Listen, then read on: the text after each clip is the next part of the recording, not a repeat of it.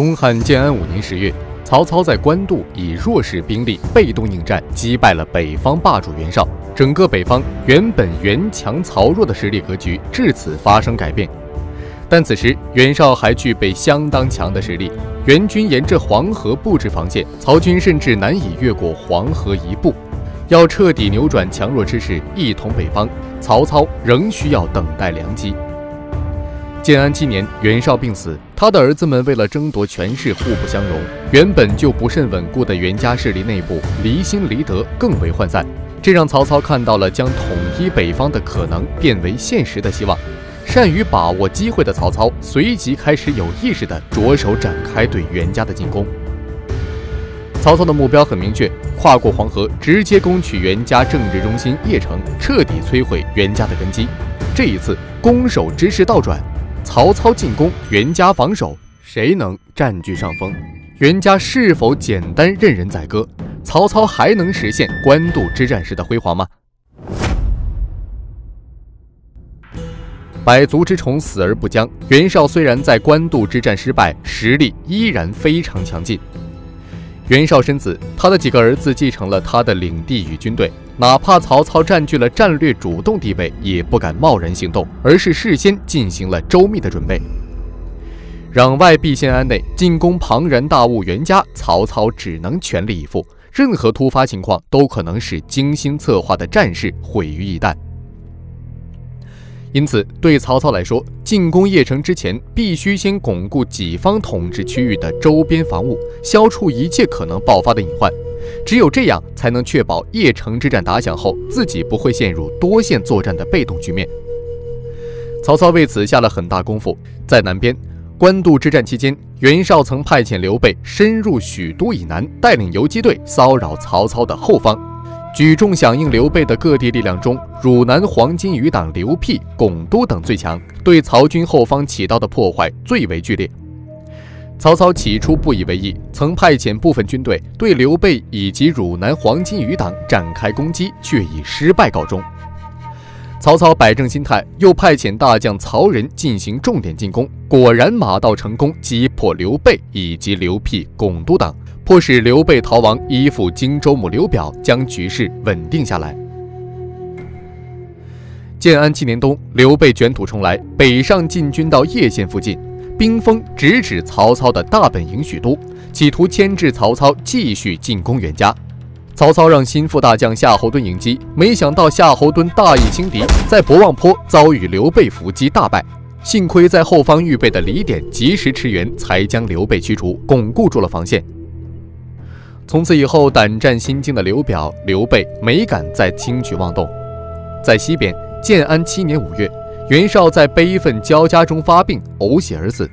袁绍的三子袁尚接替老爹出任冀州刺史，并指派河东太守郭元、并州刺史高干联合南匈奴单于呼除权，大举进攻曹操占据下的河东郡，还暗中联络凉州马腾、韩遂等军阀一起行动，声势浩大。曹操认定对方是一群乌合之众，并不慌张，见招拆招，委任司隶校尉钟繇节制关西的军务。不仅将呼除权围困在平阳，还大破赶来支援的郭元，最终迫使呼除权投降，稳定了西边防务。在东边，当与袁绍相聚于官渡时，曹操任命的琅琊相臧霸多次以精兵骚扰属于袁绍地盘的青州，防备袁绍的青州兵力从侧面进攻，使曹操得以专力对付袁绍。曹操谋划攻打邺城之际，也让臧霸在东边以攻为守，继续稳固战线。南、西、东三面都有了妥善安排，接下来自然能无所顾忌，全力向北挺进。曹操配合军事部署的其他准备主要有三点：第一，规范奖惩制度，激励将士斗志。官渡之战，曹操虽然取得了胜利，但可谓险胜。当时许都以及军队中都有不少人与袁绍暗通书信，为自己留了后路。曹操清醒地知道。防御战的险胜不等于进攻战的必胜。要攻取邺城，彻底消灭袁家势力，必须进一步激励将士斗志，提高全军战斗力。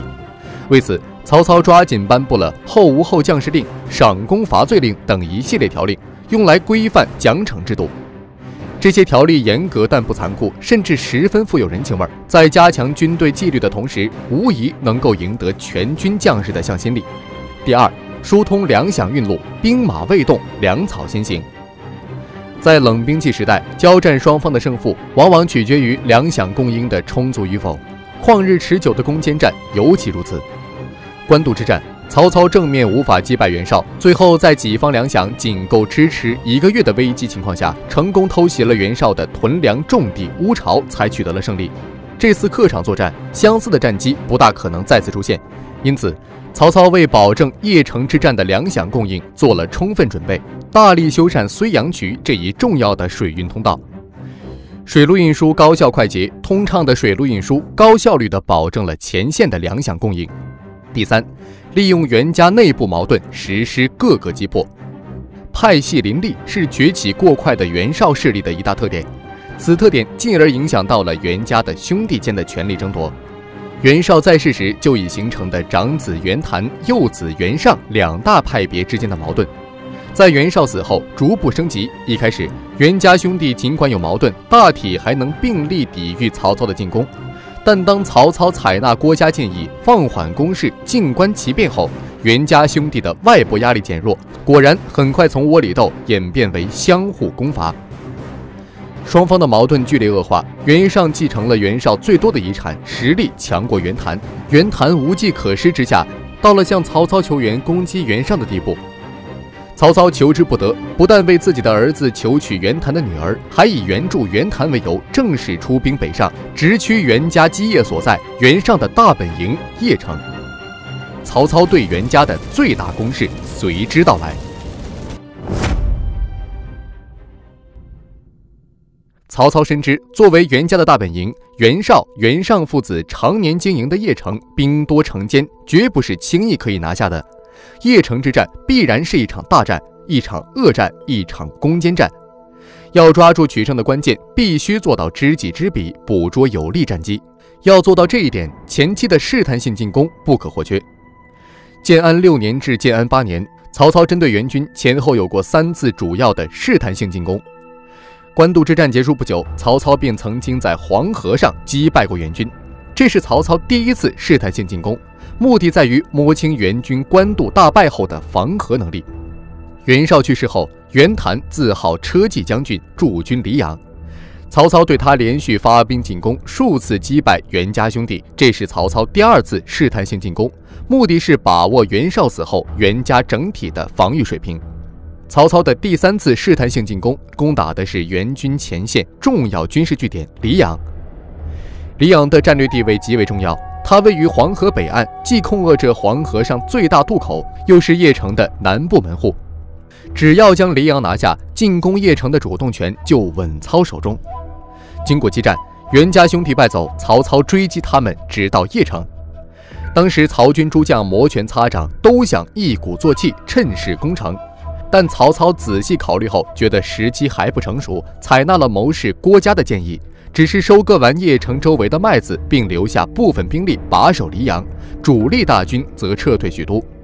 这次进攻的实质性收获是占领了前哨黎阳，为后续的军事行动提供必要的踏脚石。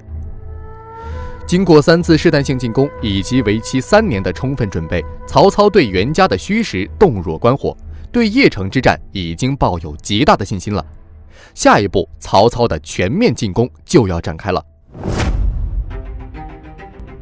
建安九年二月，袁绍衣钵的继承者袁尚留部下沈沛、苏由防守大本营邺城，自己率军攻打平原国的大哥袁谭。曹操敏锐嗅到了进攻邺城的时机，立刻挥师北上。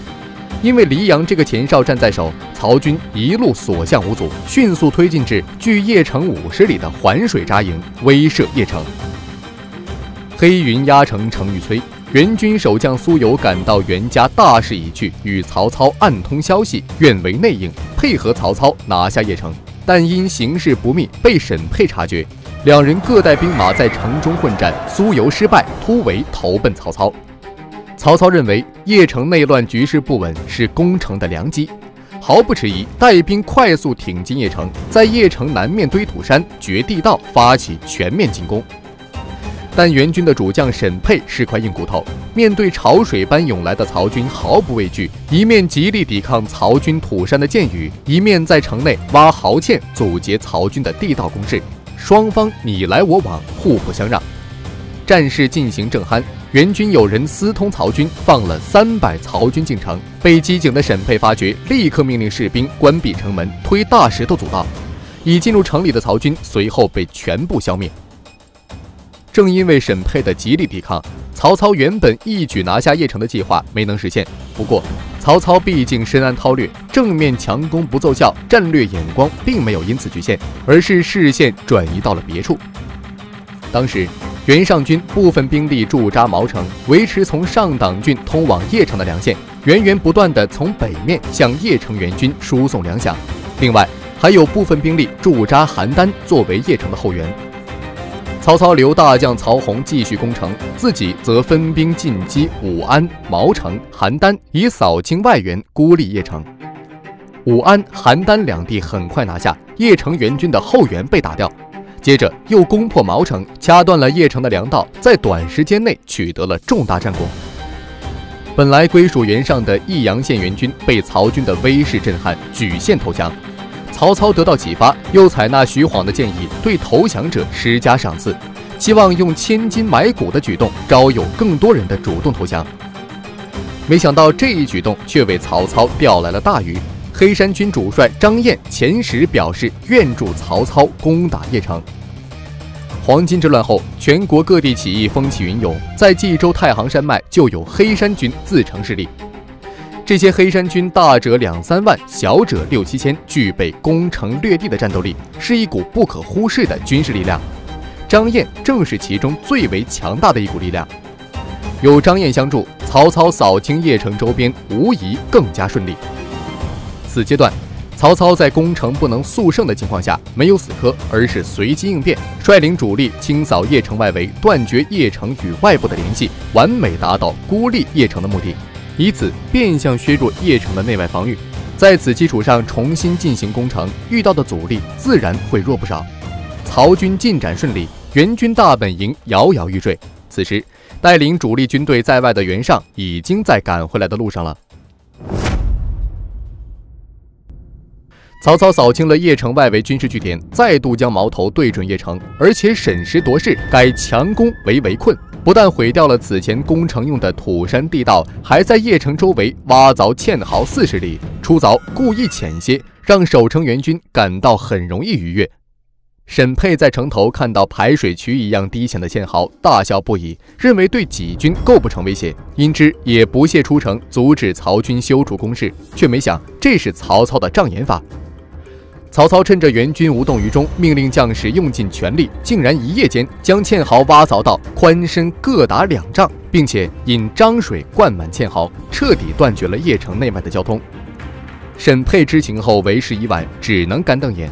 城中饿死者超过半数，危在旦夕。袁尚获悉邺城危急，无法继续对袁谭的作战，不得已从平原撤兵支援邺城。为了让沈佩知道援兵在路上，坚定他守城的决心，袁尚派主簿李福潜回邺城。李福扮作曹军都督，混过包围圈，城上守兵用绳索引之入城。沈佩见到李福，得知袁尚回援邺城，悲喜交加，全军上下鼓噪称万岁，本来颓废的士气重新振作。为了节约粮食，李福还建议沈佩将城中老弱挑出来送他们出城。沈佩接受了他的建议，挑出了数千老弱病残，让他们打着白旗投降曹军。这是一招妙棋，如果曹操拒不接纳，名望会受损；反观援军，则可节约粮食，但忍心将自己的百姓送出城，也足见沈佩为了守城立下的决心。李福夹杂在这些老弱中突围而出，回去见袁尚复命。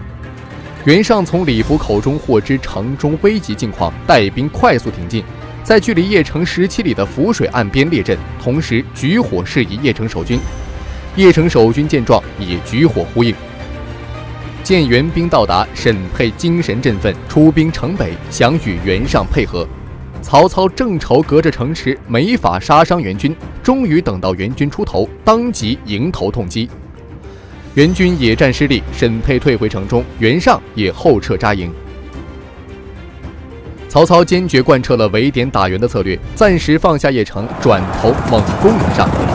曹军如狼似虎般杀来，没有坚城作为庇护，袁尚感到害怕，派人向曹操求和。